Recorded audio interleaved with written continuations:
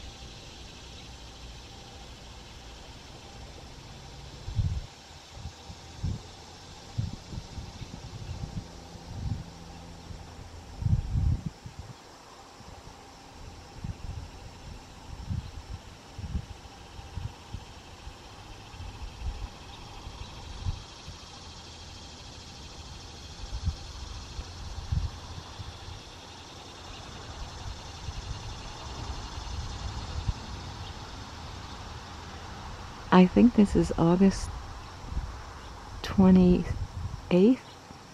It's Sunday morning, 2023. This baby is still in the nest.